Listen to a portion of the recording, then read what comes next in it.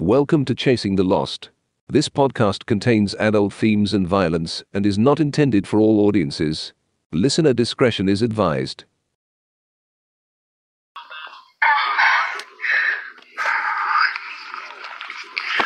My name is Melissa Guse. Um, if you're going to watch this video, please do not have the kids around. Karlie Lane is missing still. She's been missing since. Breathe.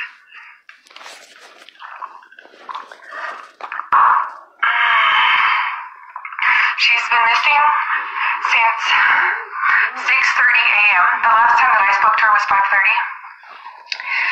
She didn't take her cell phone. We're coming up on 10 hours. And now's the part where I'm saying I have to do something because we've had CHP flyover, we've had Inyo County, Inyo and Mono County shar- uh, sheriffs flying over, or oh, Bishop PD or CHP flying over. They had their copter day. Thank you to CHP. Love you. And um, we are going to potentially have the helicopter did the search over a very large area. She'll fall all the way around us, all the way down to Lake Laws, and they're amazing. And um, several Mono County sheriffs, and I see all your faces popping up, and it makes me want to cry. I love you guys. And I'm putting this out there because um, it's going on 10 hours that she's missing. And I want to put this on blast because I don't think she's out in the desert. I think that she could have been abducted or taken because we do a live on second, a highway and it happens and I'm being real. And I just want to let everybody know. Alicia, you're calling me. Are you watching the video? She's not watching the video. That's okay. I want to put this on blast because I don't know what to do to consider her a missing person. Um, you can't do an Amber Alert because she didn't leave in a car and I don't have a physical description of a vehicle. She is five foot seven. Hold on. Let's do this good. Wait, there she is. She's five foot seven, about 115 pounds. She has blue eyes and the cutest little nose and a great smile. And her hair goes all the way down past her, like to her belly, let's say, mid waist. And this was last year's picture. Shows you she's a little bit different, but not much. She's still like adorably cute. She doesn't wear makeup and everything. She left in her jeans um, and a t-shirt. So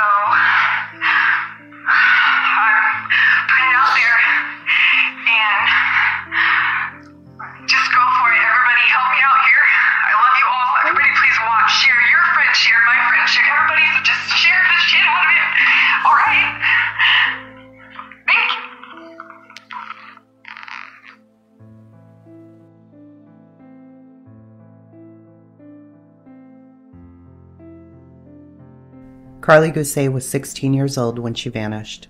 It was October 13, 2018. The question remains how? The case is not straightforward, and there are so many unanswered questions surrounding the night before and the morning of her disappearance.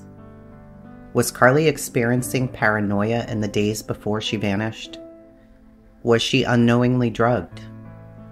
Was she the actual person seen walking towards Highway 6 on the morning of October 13th? Why does her biological mother believe there's more to the story than what is being told? Are her stepmother and dad withholding information? The internet became highly invested in Karlie's case as it went on, and there are still some today who are actively posting about it. Let's explore the case of Karlie Guse. Karlie lived with her father, Zach, and her stepmother, Melissa. She had been living with them for several years as her biological mother had moved, and they did not want to remove Karlie from her school or her friends. According to all three parents, Karlie had no mental health issues that they were aware of. She had recently been in trouble at school with marijuana. Carly, like many other teens, had begun experimenting. Not long before she went missing, she was suspended from school for smoking and was receiving counseling. She had quit smoking, her grades were improving. By no means was Karlie a kid who was into anything heavy.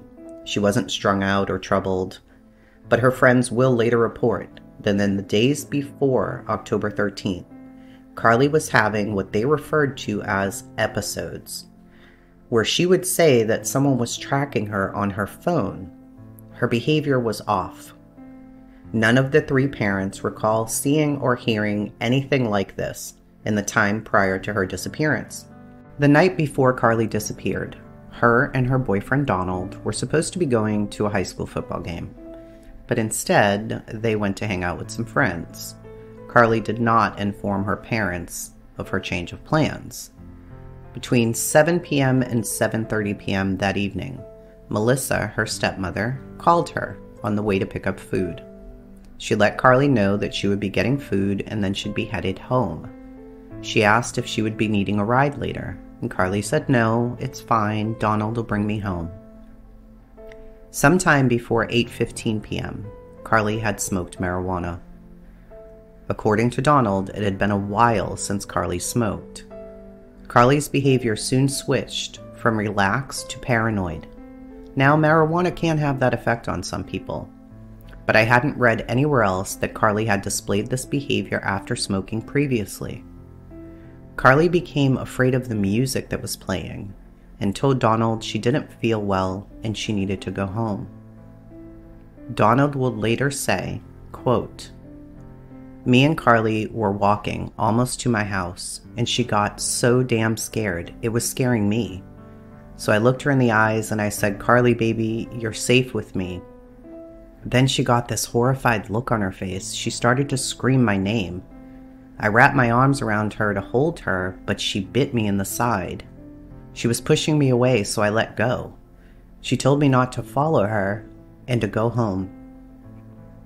So I stayed there in the middle of the street for like 20 minutes. I wanted to chase after my baby, but it was pitch black, and I didn't want to scare her anymore. Until this day, I wish I had chased after her. I wish I had made it to the house. I wish none of this had happened. End quote. As Karlie ran, she called Melissa to come get her. According to Melissa, Karlie was in a panic running down the road. She told Melissa she was scared and she needed to be picked up immediately. She begged Melissa not to hang up the phone. When Melissa arrived at the location that Karlie gave her, Karlie wasn't there. Melissa started to drive down the road searching, and in the distance she saw a small light. It was Karlie's cell phone. She pulled up and Karlie jumped in, white as a sheet, and her pupils were completely dilated. She said she was afraid that the car was going to kill her. Melissa estimated it took her about 15 minutes to calm Karlie down, and then she brought her home. This account of the events has been told a few times, and unfortunately, the details change a few times. What we believe is Karlie did make it back to her home that evening, and there is proof by way of two different video recordings that Melissa took of Karlie. Melissa said she took them to show that Karlie was behaving crazy the night before. She was hoping that it would teach her that drugs just aren't worth it. Based on the information they've provided, Karlie got home and her behavior was erratic. She would be in a corner one moment, terrified and pale, not wanting to be anywhere near her parents. The next, she would be telling them she loved them, and she would sit down and try to eat. At one point, Karlie was given a salad and spit it out, stating, This is the devil's lettuce. At other points during the night, Karlie would want to paint her toenails or read the Bible. She asked in the audio if something were to happen to her, would Melissa call 911? She asked if she would live till the morning. She stated she was afraid of Melissa and Zach, but also wanted Melissa to sleep in bed with her that night. The account of the night has left Lindsay, Karlie's mother, wondering why her child wasn't taken to the emergency room. Lindsay feared whatever Karlie smoked was laced with something. And initially, both Melissa and Zach would say they didn't take her in, and the thought had never entered their minds because it was just marijuana. But they will later say that they absolutely thought she was on something more and did consider taking her to the ER. Melissa states a few things about the next morning. Melissa had an interview with Dateline. I'm going to read that article to you now. The night or the morning of? Well, what you recall? I assume you went to bed. Right. Well, I got home uh, just after work. Um, had had a drink, drink a couple beers. Um, Melissa and Karlie showed up. Uh, Karlie was acting paranoid. Uh, little. Wait, Uh, wait, wait, wait, wait, wait, wait, wait, wait. What do you mean by that? Why was she acting paranoid? Yeah, just just Zachary? smoking marijuana. Yeah, she had had Whoa, it. whoa, whoa, whoa. Yeah. I want to go to Zachary. What was she Yeah. doing to, to seem paranoid to you? She had admitted to smoking marijuana, and that's the reason why Melissa went to go pick her up early. What was she doing that was acting paranoid to you? Scared. I know, but what did you observe about her that seemed she was paranoid? She uh, just she just uh, was acting very nervous and scared about you know uh, her phone, about about us being around her at moments. And then at other moments, she changed and just, just, uh, you know, say she loves us and ask us if, if, if she was okay. When you said she was acting nervous and afraid to be around you, what was she doing to make you think that? I don't know. She was, she smoked pot. I don't know what was wrong with her. I know, but you're telling me that she told you or told your wife she had had marijuana. All right. Yeah. You're saying she's acting paranoid. What was she doing? Was she pacing the floor? Was she biting her fingernails? Was she twitching? Was she crying? Was she anxious? Was she on her phone? Did she call 911? What was she doing to make you tell me that she was acting paranoid? Because I've never seen my children act paranoid, and I don't know what that even looks like for a child. What was she doing?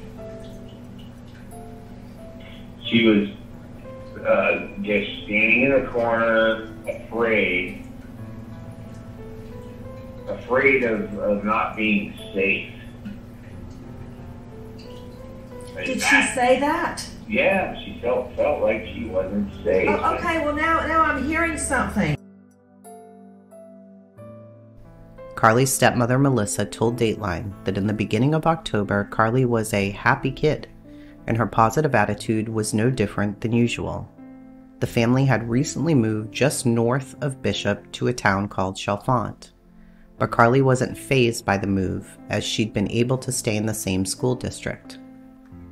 On Friday, October 12th, Karlie left home to hang out with friends, as her stepmother says was typical. According to her mother, Lindsay, Karlie's boyfriend Donald would later say, after hanging out with friends for a while, Karlie started not to feel well and wanted to leave. She called me to pick her up, Karlie's stepmother Melissa told Dateline. I picked her up from town and just brought her home. Melissa told Dateline she and Karlie got home around 9 p.m., and according to Melissa, they ate dinner and then went to bed. Karlie's father, Zach, told Dateline Karlie seemed disoriented before she went to bed, but would not comment further on her condition. The next morning around 5:45 a.m., Melissa said she went through her usual routine of opening the kids' doors and saying good morning to them. She told Dateline she saw Karlie in her bed at that time. Melissa said she went back to bed for a little bit, and when she woke up a little bit later, She opened Karlie's door again. Karlie was nowhere to be found. I went back to our bedroom and I said to Zach, Honey, she's not here. And he said, What do you mean she's not here? Melissa said, I told him, She's gone. She's not in her room. She's not outside. She's not in the backyard. She's not anywhere. Melissa and Zachary told Dateline they first thought Karlie might have gone for a walk. They decided to each get in their cars and drive around town to see if they could find her. Karlie's father, Zach, told Dateline he wasn't nervous at first because he thought they'd find her walking down the road. But after two hours and five minutes of searching with no sign of Karlie, Zach said his concern grew quickly. Melissa says it was about 9:30 a.m. when they arrived home after their search. Zachary then called Karlie's mother Lindsay, who lives in Nevada, to let her know Karlie was missing. He then called the Mono County Sheriff's Office and filed a missing persons report. Melissa and Zach say the deputies came to the house a few hours later and began asking neighbors if they'd seen anything unusual. Meanwhile, Lindsay drove in from her home in Nevada. In March of 2019, in an interview on the Dr. Phil daytime talk show, Melissa told Dr. Phil she had lied to NBC in October when she spoke to Dateline. Quote from Dr. Phil Melissa, you told NBC the next morning that at 5:45 a.m. you did your usual routine of opening the kids' doors, saying good morning, getting them ready for school, that sort of thing. Did you she was still in bed at that time? Did you go back and lay down? End quote. Melissa responds with, No, the Dateline NBC, yeah, that was a false story because it wasn't, well, it was a lie about checking on Karlie because it was the beginning and I didn't know what to say and I shouldn't have even done the interview. Karlie's father, Zach, was also on the set with Dr. Phil. He tells Dr. Phil, It was just too early. You don't know what to do. There's no handbook for this man. So it now becomes unclear on when the last time Karlie was seen. The contradicting statements naturally left people with questions about what really happened that morning. While understanding that it was early in the investigation, the parents may not have wanted to give out too much information that may embarrass Karlie she may have come home or have been located. That could be the reason, but just two weeks later, in an interview with the Las Vegas Review Journal, Melissa told them she woke up at 5:45 a.m. and looked over at Karlie, who was still wide awake. And then she turned over and went back to sleep. The statement clearly matches with the account of the night prior, where Karlie asked her to sleep in her bed with her. This discrepancy doesn't really help in the overall case for finding Karlie, but it did help to start a lot of rumors online that we'll address later. In both versions, Melissa and Zach leave in separate cars to go search for Karlie. We don't have an exact time they left, but in one statement, Melissa says that she woke up, immediately panicked that Karlie wasn't there, and they jumped in their cars to go search. They also stated they searched for two hours and then called Lindsay. Lindsay said her call came in at 9:30. Based on that information, we can safely say that they left in the cars by 7:30 a.m. There were witnesses. The first witness, a 78-year-old retired police officer, stated Lindsay walked up to him and asked if he'd seen her daughter, and he said he believed he had that she had walked by between 6:30 and 6:45 a.m.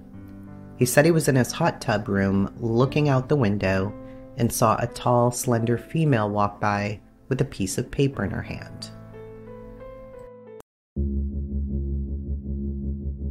When she was uh, missing, I don't quite understand the whole thing. I was in my hot tub room. Uh, it's probably about 6.30, 7 o'clock. I'm kind of, this happened a couple years ago, so I'm just trying to guess at it. But I'd say between 6.30 and 7. And uh, it was kind of chilly that morning, I remember. And for some reason, I looked out towards the street. I have big, big windows in the hot tub room. So I looked out towards the street and I thought, that's unusual. There's a young girl walking by. She had long, kind of long brown hair, uh, she she had clothes on. She had a white, I think, I can't even remember, but I think she had a white top and maybe gray bottoms or something. But she had clothes on, but it was kind of chilly, and I thought that's kind of kind of weird that she would be there. And she was waving a, a piece of paper, like a, a 12 by 12 piece of paper. She was just waving it in the air and and walked by. Now later that morning, I think it was about eight o'clock, maybe, I'm guessing, probably, that her mother says, Have you seen my daughter? And I told her the story that I had just seen a girl walk by, but I didn't know it was her. Oh, that was her. I think you were the last one to see her. I said, Well, I don't know. Well, I'll help you go look. So at that time, I had a side by side motorcycle. So I rode up into the canyon which is straight over from my house because I figured maybe that's where she would go because I have two chairs set up in that little canyon and there's a little fire pit there and I shoot my guns down into the canyon. And I went over there and she wasn't there. And by the time I came back, she was at my driveway and I told her I didn't see anything. And she says, well, well, thank you very much. And that's about the last I really heard of the whole thing.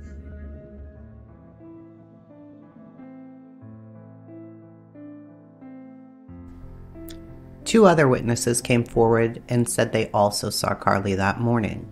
One witness, Kenneth Dutton, who lived down the road, said he saw her walking by holding a sheet of paper. He said it was between 6:45 and 7 a.m. She was wearing a white t-shirt and gray sweats. The final witness was a wooder who said he saw her between 7:15 and 7:30 standing behind a wire fence at the corner of Highway 6. Based on the witness statements, Zach and Melissa missed Karlie by seconds.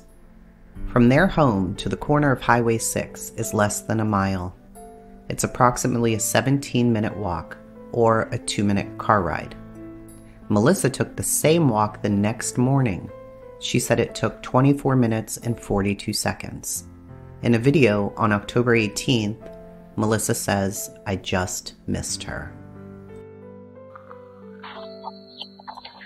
It's Sunday, October 14th, and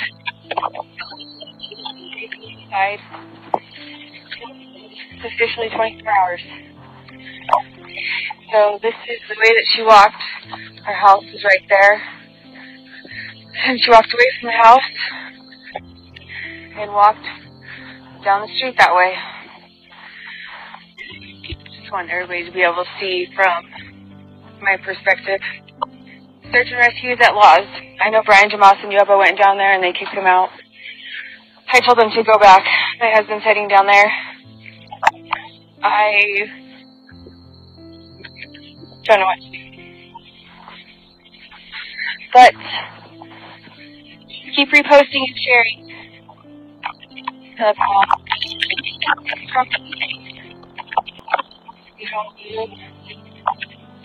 To help her come home. A search ensued, including the FBI, police, drones, dogs, but there was no sign of Karlie anywhere. Law enforcement said that every resident in that area had been spoken to personally by a member of law enforcement, and no one had saw Karlie that day other than the three people who had come forward. Melissa immediately took to Facebook and began asking for assistance. There was a Facebook page and group opened. Melissa made many videos and posts within the group. Some were extremely emotional. On October 16th, Melissa posted a man possibly saw Karlie about four hours away in another town asking for money. The girl had a pierced nose.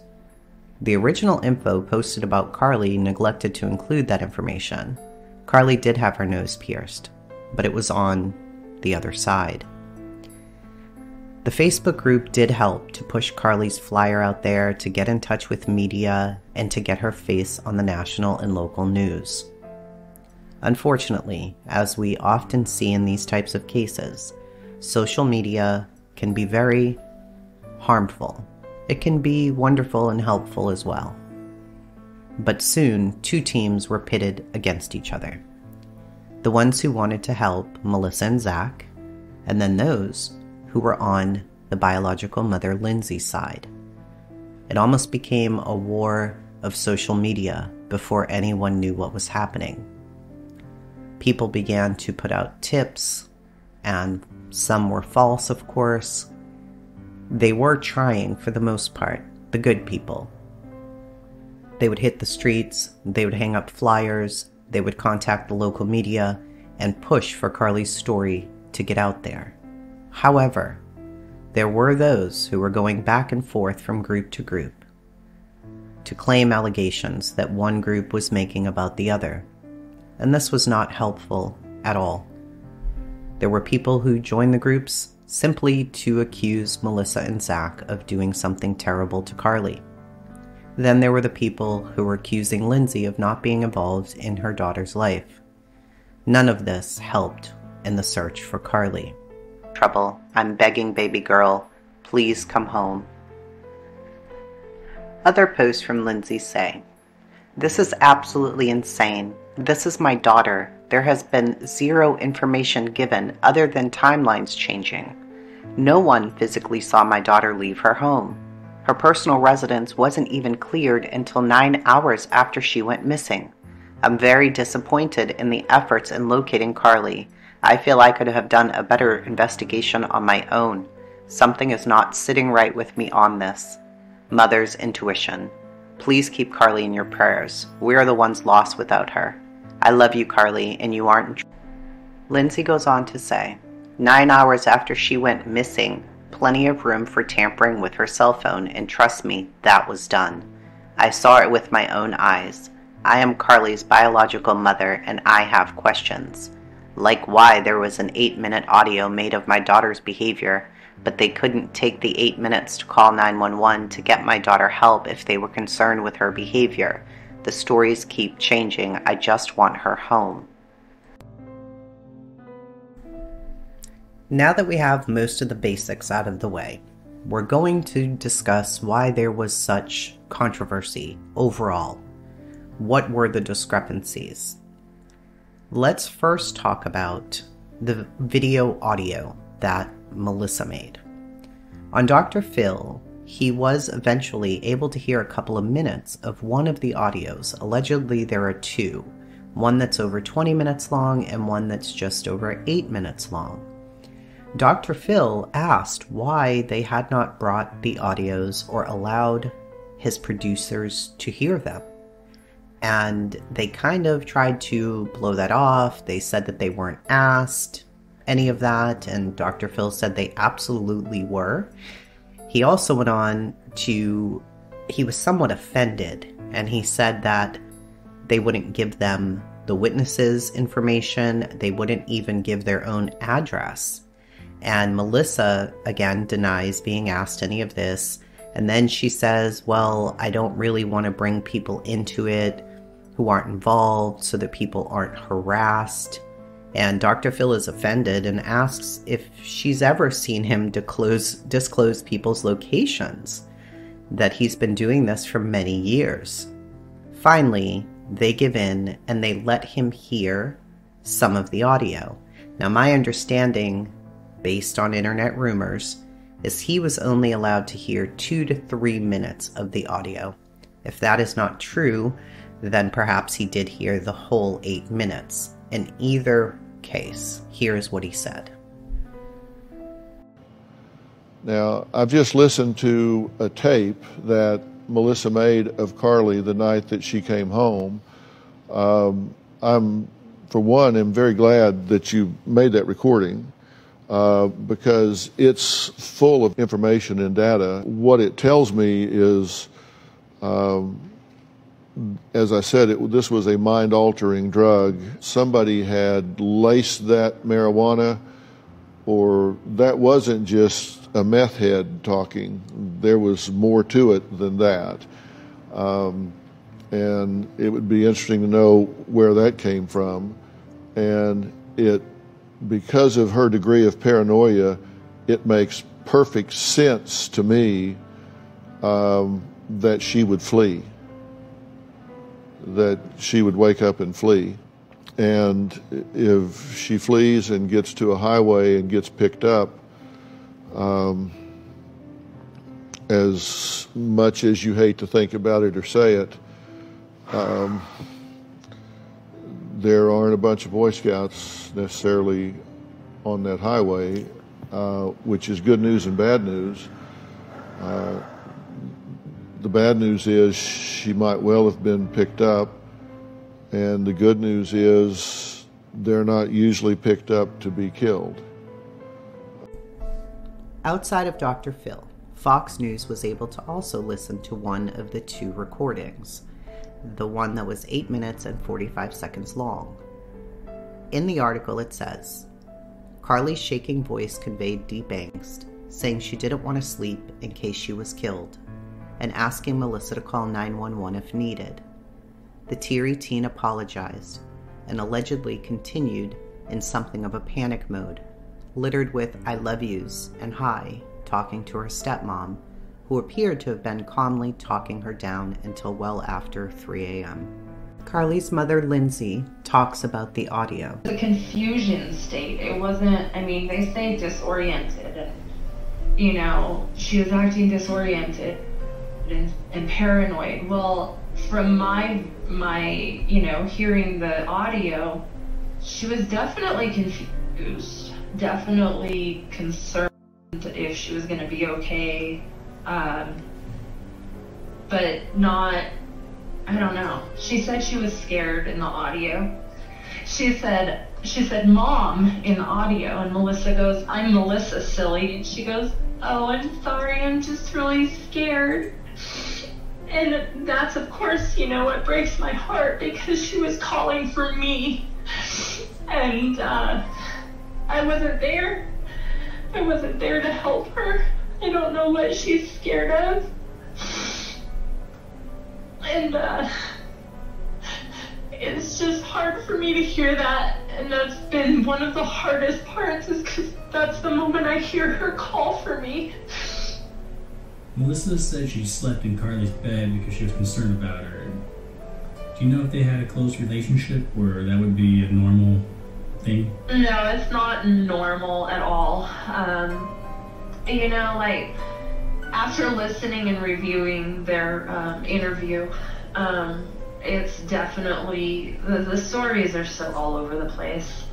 Um, they said that they like got up like three or four times from her bed and was like back and forth in the living room watching movies and um, okay, let's go to bed and okay, let's go watch a movie. And it just, and perhaps that is her behavior that night, but um, the the thing that really uh, stood out to me was the fact that she claims the FBI, you know, wiped her phone clean, but yet she still had the eight minute, 43 second audio of my daughter. So why would they take the 23 minute audio or video and not the eight minute, 43 second one? It didn't make sense. So I call BS on that.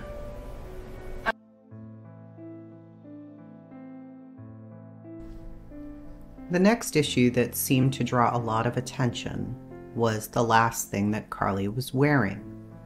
The last time Melissa saw Karlie in bed, she was wearing a t shirt and underwear. The Mono County Sheriff's Office initially reported they had no description of what Karlie was wearing. By 5 p.m. the same day, they posted again, stating Karlie may have been wearing a white shirt and gray sweats. My assumption was Melissa got this information from the former officer who said that he saw Karlie that morning. But as I went back to research, it was witnesses 2 and 3 who gave the descriptions of the white shirts and the gray sweats. But in order for the sheriff to update the clothing at 5 p.m. that day, someone provided that information. At 4:36 p.m., Melissa said in a video posted to Facebook, Karlie was wearing her skinny jeans not sweats. This was after the neighbor had spoken to Melissa. So at this point, had that neighbor given any clothing description at all? Melissa said she assumed what Karlie had on was whatever she had on the night before. Donald knew what she had on, and he says she was wearing his dark blue Vans t shirt with yellow writing, light blue skinny jeans, and a black Adidas hoodie. Also on October 13th, the Inyo County Sheriff's Office posted Karlie was wearing either a blue t shirt with yellow writing or a cream and white shirt with blue jeans and vans. On October 14th, Melissa posted a video, and in it she states, I just had a neighbor call me and informed me he did see her yesterday morning walking down the road towards Highway 6. She was wearing a white t shirt and sweatpants, gray or dark gray. He saw her between at 7, 7.30, 7.15, 7.30 in the morning. My name is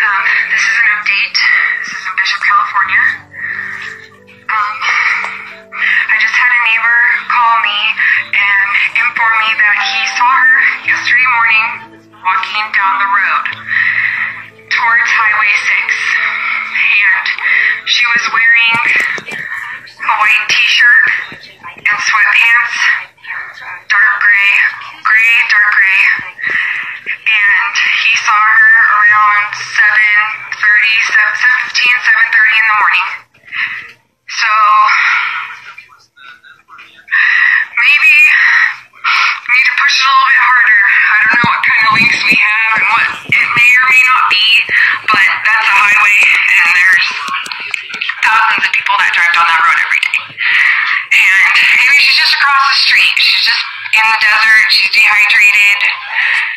But thank you all. I love you.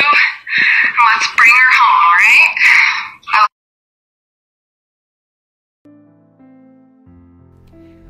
So this left me confused.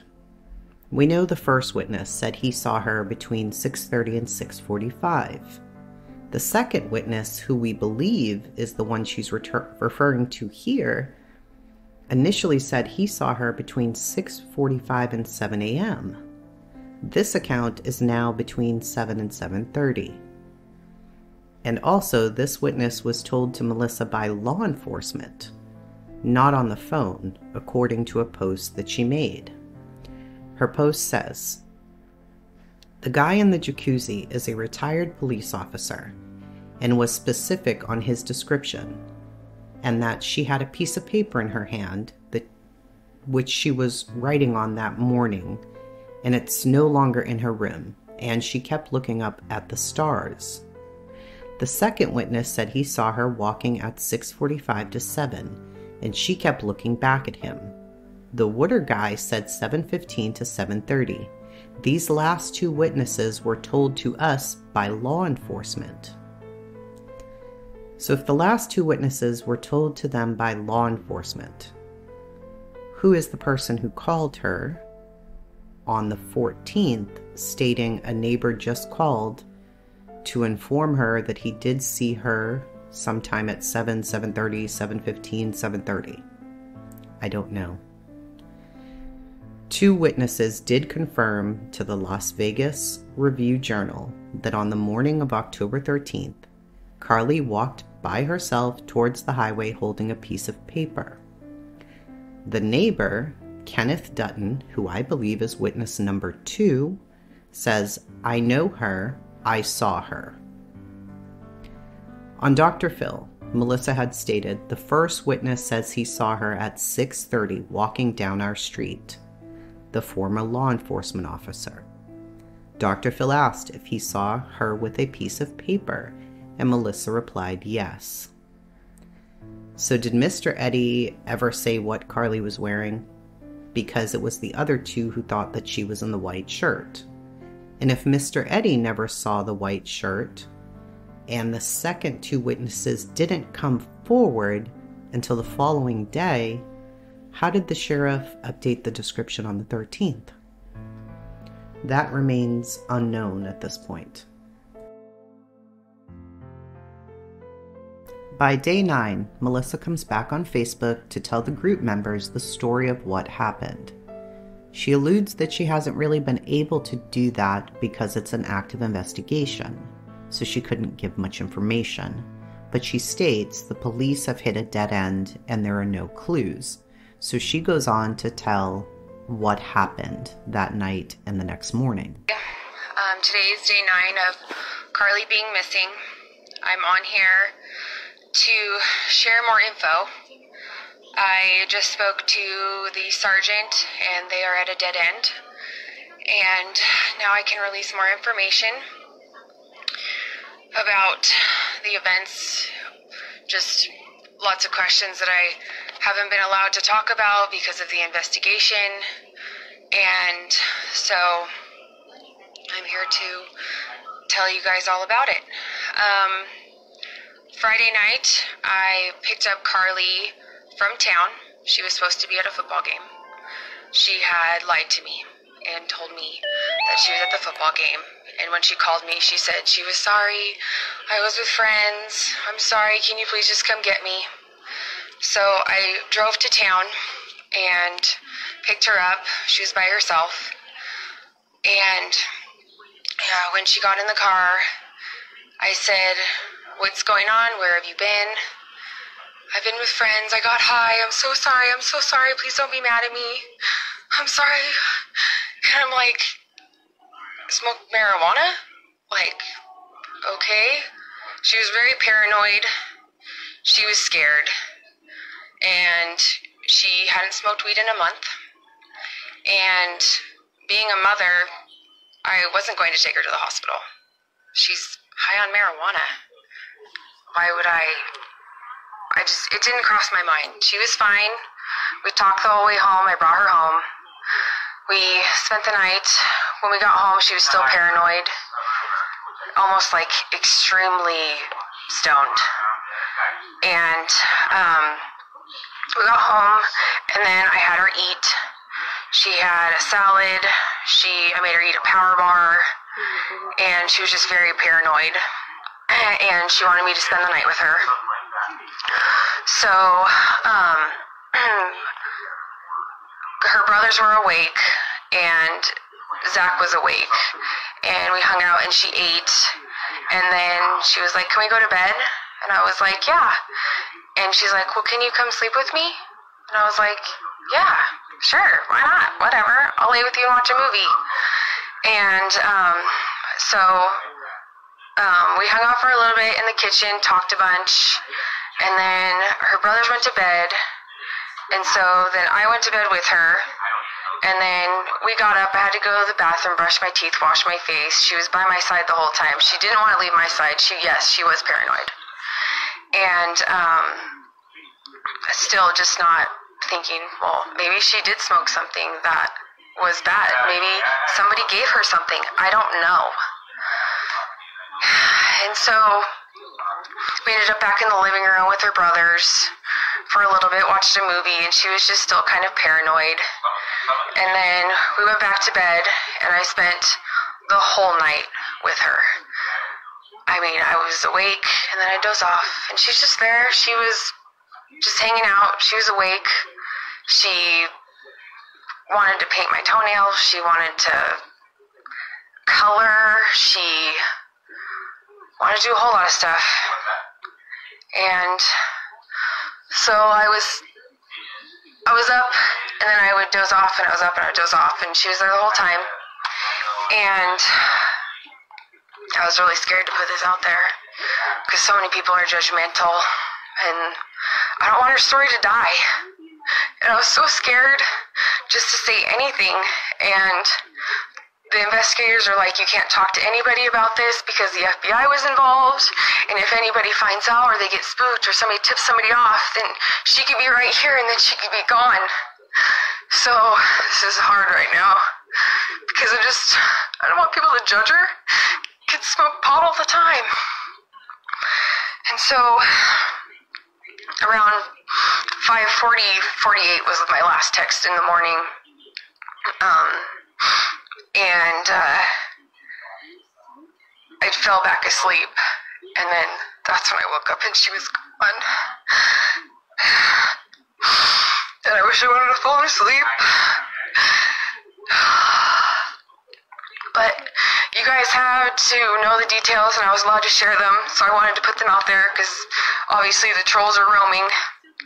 And um, I'm not a liar, and I don't have anything to hide and I'm. It's okay to tell you guys. You guys all want her home. Who cares what she did? And she's not disor- disoriented anymore if she is. And I said that in the beginning, not even because the way she was acting, but because if she's been out in the desert for three hours, yeah, she's going to be disoriented. She didn't take anything with her. The people that saw her said she only had white t-shirt and gray pants, and that was it. She didn't have a water bottle. I don't, I don't know what she's got. And if she's out in the desert, it's hot here.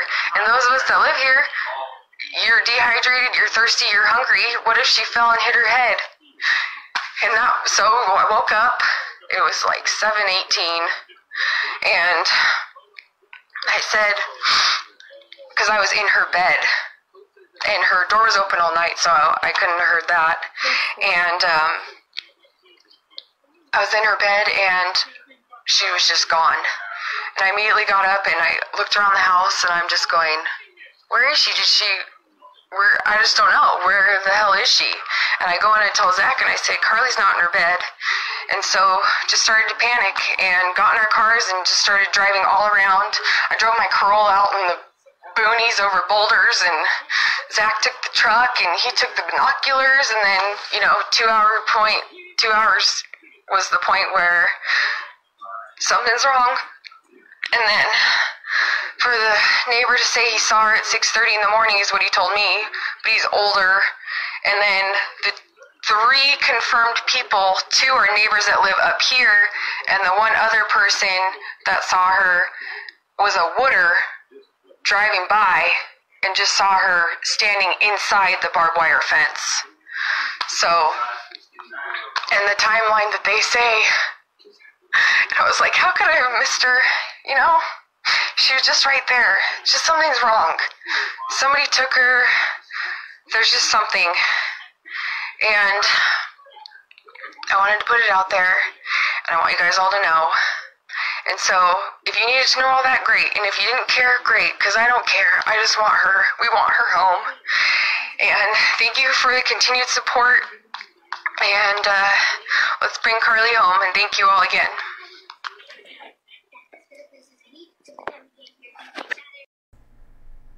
As you've heard for most of the time, there was a lot of confusion on what she was wearing. That seems to be because it was first assumed she just threw on whatever she had on the night before, and then the witnesses came into play. Nancy Grace does a good job trying to pin down what exactly she was wearing. Now, this is days later. There's time by this point to go through the laundry, to check and see if anything's up on top of the laundry. I don't think it's far fetched to think she just grabbed something accessible rather than went through her closet, went through her drawers, look for something that may have been hanging up. If Melissa was in the bed with her that night, and so much was going on that night and the next morning, I don't think Karlie could have gotten around the room looking for clothing within dresser drawers or closets without Melissa hearing something. So my guess is she just picked up the closest pair of pants and either she was in the t shirt she was sleeping in or she grabbed a t shirt off the top of her laundry basket.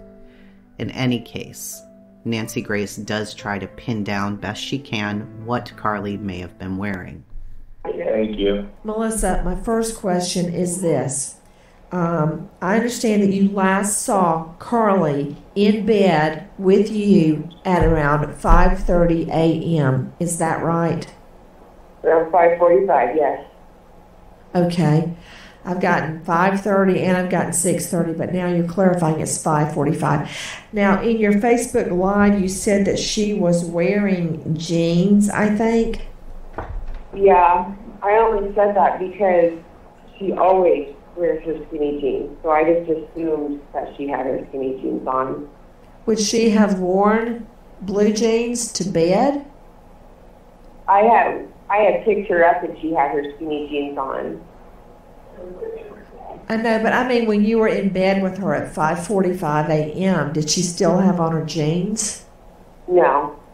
Okay, so Had a t-shirt and just her underwear. okay, let me understand because in the Facebook Live, I, I'm trying to get the description of what she had on the last time you saw her out there. So in the The Facebook, last time I saw her in our home, she only had a t-shirt and her undergarment. okay, then that Facebook Live that she blasted out saying look for her in the skinny jeans.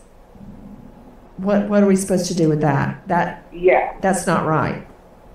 I, well, yeah, I was in a panic, and she's not one of the, to go out of the house in sweatpants or or skinny jeans. Okay, all right. So the last time you saw her, she was not wearing what was on the Facebook Live. She was wearing a T-shirt and undies. All right. Question: Were her PJs the T-shirt? Was the T-shirt found in the home after she disappeared? No, Okay. What was on the T-shirt? What was it? from what I can remember, it was like a Vans t-shirt or some kind of t-shirt that had a logo on the back, and then the small one over like where your heart is. Got you. Was it white, blue? What was it? It was like a white creamish color. Okay. Do you know what the T-shirt said? No. Okay. Uh, do you know the colors of the T-shirt? It was like a white creamish, and then the the logo was also very light. Okay, got it. And that T-shirt that she was in bed with, wearing at 5:45, is not in the home. That tells me she's still in the T-shirt. Yeah, she. I could not find that in her laundry or anywhere. Okay, got it. Now, what about her skinny jeans? Are they missing? You know, I wouldn't even be able to say yes or no because she has so many clothes. She has like 20 pairs of skinny jeans and 50 different shirts. She has a lot of clothes. Okay. Regarding the skinny jeans, were they black or blue? The ones that she had worn the night before were light blue. Light blue. Are those missing? The ones she wore the night before? Are they in the dirty clothes? Where are they? I'm trying to figure out what was she wearing when she disappeared. I don't know. Because the two confirmed neighbors said that she had the white shirt and gray sweatpants. Okay. Are the gray sweatpants missing? I, I don't know. Okay. Uh, she, she has so many clothes, I can't even. Vans, a, a dark pair of sweatpants, and a white T-shirt. That's what we know. And that was confirmed by By three. three different people. Two neighbors, and then. okay. Now I'm, I'm just hearing that for the first time. Tell me about that. What did the three neighbors say? Um, okay, so when we first went out searching in the morning, we searched for two hours, and one neighbor that lives on our street, he's older, and I asked him, I said, Did you see my daughter walking down the street, you know, young girl? And he said, Yeah, actually I did. And I said, Do you know what time? And he said, It was about 6.30. And I was like, Okay. And then as this just the searching and everything keeps going on, we have had three more people. Two are neighbors who live right in this community that saw her wearing a white t-shirt, gray sweatpants, and tennis shoes, walking west on our high, on our road. And then the other one confirmed person was a wooder, which is like somebody who goes out to chop wood he saw her at 7:30 down by Highway 6. Where in the world do you think she was headed? As you just heard, now there seem to be four witnesses. In all of the research I've done, I've only come up with the three Mr. Eddie, the gentleman who lives down the street, Kenneth, and the Wooder. But now apparently there's Mr. Eddie, Kenneth, a mystery neighbor, as well as a Wooder. So I'm just left really confused now. I've not seen that in any place, and perhaps some of you listening may have seen that information somewhere. And if so, if you could direct me to the news source, that would be great.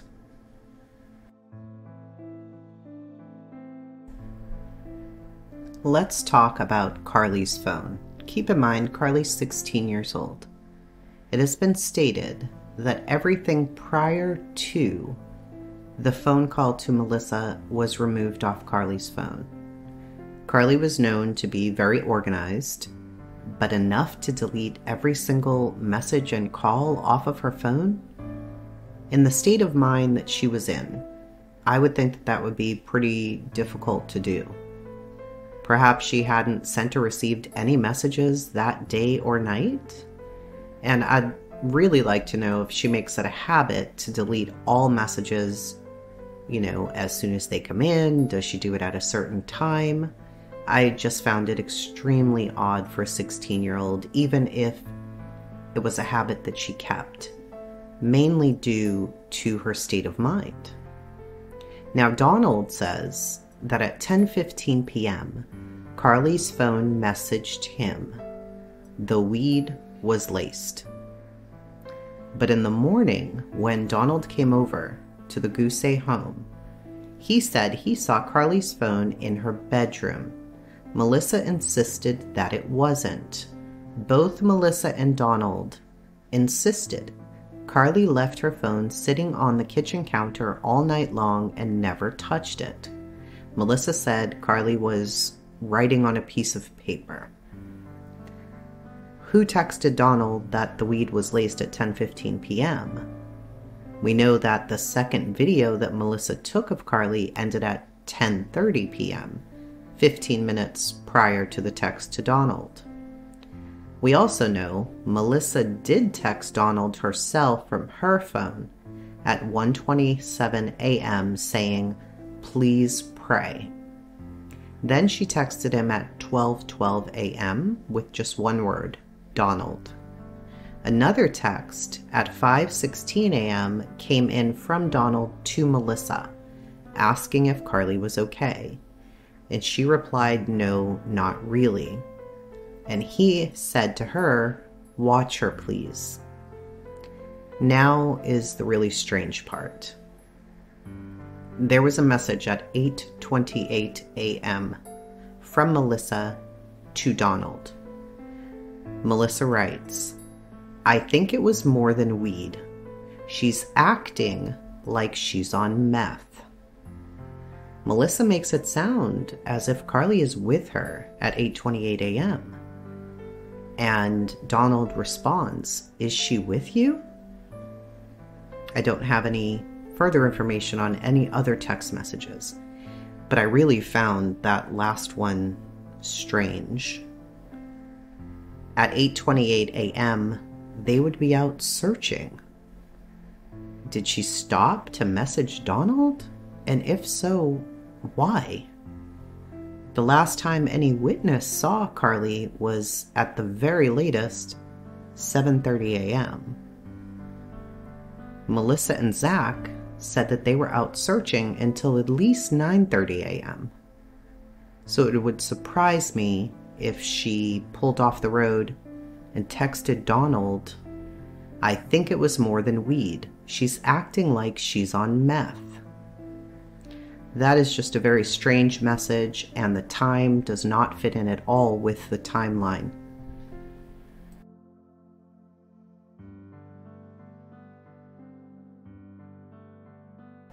Let me ask you this her cell phone. The boyfriend that came over said the cell phone, her cell phone, which I'm surprised she left it behind, but that the cell phone was by the bed. When the cops got there, the cell phone was on the island or in the kitchen. Is that part right? No. The cell phone was in the kitchen the whole time. Okay, got it. let me think. Do you know the code to get into her cell phone? Yeah. Okay. Did you go into it to find out who she last texted? Yeah. Okay. Who was she last speaking to and what time? I don't remember the time, but um, I was the last person that had called her.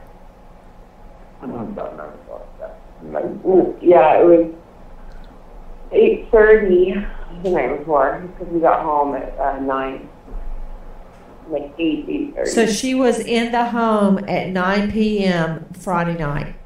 Correct.